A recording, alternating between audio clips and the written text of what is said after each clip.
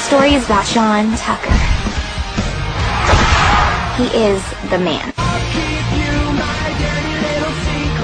Zon oma grille. Mm, you are so sexy when you speak French. He's got two girlfriends. Whoa, scratch that. Three girlfriends? Have you ever dated John Tucker? Hey, he's mine. Stay away from him. I am dating John Tucker.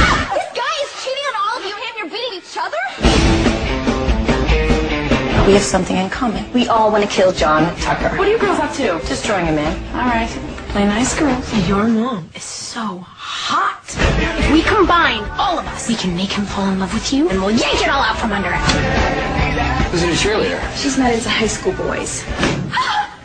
This is Kate, and she'll be taking Nancy's spot. What? It's just a sprain. Sorry. John loves girls on top. Of the pyramid. Hello. Let me just enjoy the most amazing girl in school. Can I hear you ride home?